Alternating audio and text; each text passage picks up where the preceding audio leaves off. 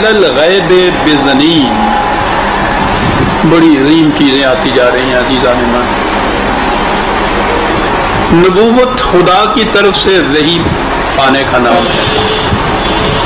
نہایت واضح شکل کے اندر وہ وہی آتی اور وہی پانے کے بعد اس کا فریضہ ہوتا ہے کہ اس کو دوسرے انسانوں تک پہنچائے۔ وہ اتنا اہم فریضہ ہے کہ رسول اللہ سے کہا گیا ہے کہ بلغ معاون سے لے لے پہنچاؤ۔ اور اگر تم نے یہ نہ کیا بفرض محال، تو اس کے معنی یہ ہے کہ جس مقصد کے لیے تمہیں یہ نبوت دی گئی تھی، تم نے وہ مقصد پورا نہیں کیا۔ گویا مقصد نبوت یہ ہے کہ اس وہی خداوندی کو، اس تعلیم کو اپنی ذات تک نہ رکھا جائے، بلکہ اسے دوسروں تک پہنچایا جائے۔ یہ بنیادی چیز ہے، اس کو ذہن میں رکھنا چاہیے، پہنچایا جائے۔ نبوت، ختم نبوت جو تھی، اس پہ تو ایمان ہوا۔ اب یہ مشکل ہو گئی کہ آگے بات کیسے چلائیں جناب؟ یہ جاتا ہمارے ہاں آیا تصور تصور کے اندر بھی ان کا دعویٰ ہوا کشف کا، الہام کا۔ خدا کی طرف سے علم ملنے کا دعویٰ۔ تو بات تو یہ وہی ہوگی جو نبوت کی ہے۔ تو پھر ختم نبوت کے اوپر کیسے ہی مان رہا؟ یہ لوگ جو ہے وہ لمبی بات چلی جائے گی اور میں نے کئی دفعہ کہا بھی ہے تصور کی حقیقت میری کتاب بھی ہے۔ ان کا دعویٰ یہ ہے، شیخ اکبر کا دعویٰ یہ ہے کہ ہم بھی اسی مقام سے لیتے ہیں جس مقام سے نبی لیتا تھا۔ بڑا دعویٰ۔ اور ختم نبوت کی بھی کہا کیا پوچھو ہمارے ساتھ کیا ہوا ہوا ہے؟ آگے بات چلتی ہے، کہتے فرق یہ ہے۔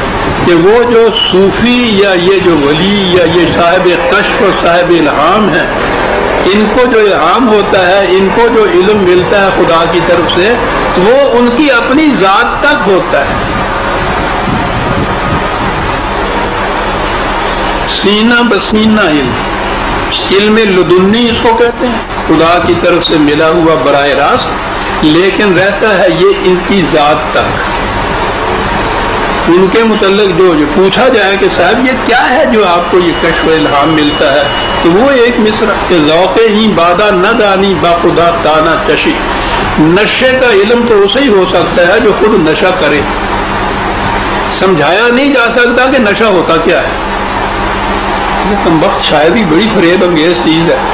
ایک تشبیح اور ایک استعارے سے بادل کو ہاتھ اور ہاتھ کو بادل کر دیتی۔ کہ صاحب یہ تو نشہ ہے، تو واقعی ہے۔ وہ کتنا بڑا صاحب علم کیوں نہ ہو، سمجھا ہی نہیں سکتا کسی دوسرے کو کہ نشہ ہوتا کیا ہے، وہ تو کہا آپ نشہ کرو تو پتا چلے۔ تو گویا تصوف کا نشہ وہ ہے، وہ علم وہ ہے کہ جو کرے گا اس کو ہی پتا چلے گا دوسرے تک کمیونیکیٹ نہیں کر سکتا۔ اور نبوت وہ ہے کہ جب وہ ملیں گے حقائق تو اس کا فریضہ ہے کہ ان کو دوسروں تک کمیونیکیٹ کرے، پہنچائے۔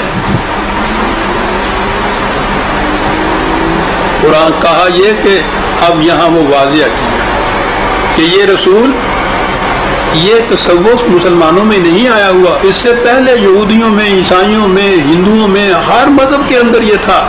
اور اس میں یہ ایک چیز قدر مشترک تھی کہ یہ جو علم ہوتا ہے، یہ اس کی ذات تک ہوتا ہے۔ جسے آپ صوفی کہیے، ولی کہیے کچھ سین کہہ لیجیے، ذات تک ہوتا ہے۔ یہاں اس کی تردید کی کہ یہ رسول، یہ جو علم اس کو حاصل ہوا ہے خدا کی طرف سے، اس علم میں یہ بخیل نہیں ہے کہ اپنی ذات تک رکھے گا اور دوسروں کو نہیں دے گا۔ تو سبوں کو کاٹ کے رکھ دی۔ جو علم خدا کی طرف سے ملے گا، اس کے لیے فریضہ ہو جاتا ہے اس صاحب علم کا کہ یہ دوسروں تک بھی پہنچائے۔ اور اسی لیے نبی اکم صلی اللہ علیہ وسلم کی عطایت کرنے والے متبی جن کو یہ علم ملے گا قرآن کا، وہ دوسروں تک پہنچانا فریضہ ہو جائے گا۔ اگر وہ یہ کہے کہ نہیں صاحب، یہ تو میری ذات تک ہی ہے، آگے نہیں پہنچتا، تو پھر وہ نبوت کا متبع صاحب نبوت کا مطلب متبع نہیں ہے۔ یہ تصوف والوں کی بات ہے، جو کچھ وہ کر رہا ہے۔ اور ہمارے ہاں ہوا یہ تھی قرآن نے تو یہ کہا تھا کہ یہ اس بات میں بقیل نہیں واقع ہوا۔ یہ عام کرے گا اس چیز کو۔ اب جب تصوف آیا تو پھر وضی روایات آئیں۔ بنائی ہوئی روایات لوگوں اب روایت ہمارے یہاں موجود۔ حضرت ابو حریرا رضی اللہ تعالیٰ عنہ کی وہ روایت موجود ہے۔ اب انہوں نے کہا کہ مجھے رسول اللہ صلی اللہ علیہ وسلم نے دو برتن دیے تھے بند۔ وہ اوپر سے لپیٹے ہوئے۔ علم کے۔ ایک برتن کو تو میں نے کھول کے عام کر دیا ہے۔ اور اگر دوسرے برتن کو میں کھول لوں تو اس کے بعد کہا کچھ نہیں۔ اگر میں کھولوں تو یوں کیا، گلے کے اوپر یوں ہاتھ پھیرا میرا گلا کٹ جائے گا، میں وہ نہیں کھولوں گا۔ تو آدھا علم جو ملا تھا ان کو رسول اللہ سے، وہ علم مخفی رہا۔ وہ اب میں پنجابی تو کجا ہی کہتے ہیں آگے، جڑا بند کیتا ہے اندر وہ جو اس میں بند کیا ہوا تھا، وہ بند کا بند ہی رکھا گیا۔ آدھا علم ہے جو عام کیا گیا۔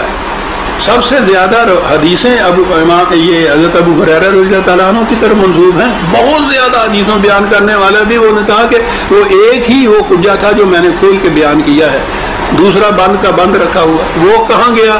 وہ صوفیہ کے پاس آیا۔ گیا کیا بات ہے؟ جس رسول کے متعلق کہا گیا ہے کہ جو تمہیں دیا جاتا ہے، بلغ ما انزل فرض ہے یہ کہ بچاؤ ساری انسانیت تک۔ ذکر للعالمین ہے۔ کسی ایک قبیلے گوشے داد برادری ملک تک نہیں، نو انسانی تک پہنچاؤ۔ اس کے متعلق یہ کہا جا رہا ہے کہ اس کا علم جو ملا تھا ہمیں، اس میں سے آدھا تو میں دے رہا ہوں تم لوگوں کو۔ یہ ظواہر کا علم کہلاتا ہے تصور میں۔ اور جو میں رکھ رہا ہوں، وہ باطن کا علم ہوتا ہے۔ اور علم حقیقی تو وہ کہتے ہیں باطنی کا ہوتا ہے۔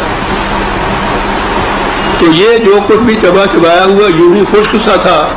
وہ تو دے دیا انہوں نے امت کو اور باقی جو تھا وہ رکھ لیا ان کے سینے بسینے ہوا ماں ہوا الغیب بزنین یہ جو علم خدا بندی اس کو وہی کے ذریعے سے ملا ہے، یہ رسول اس میں بخیل نہیں ہے۔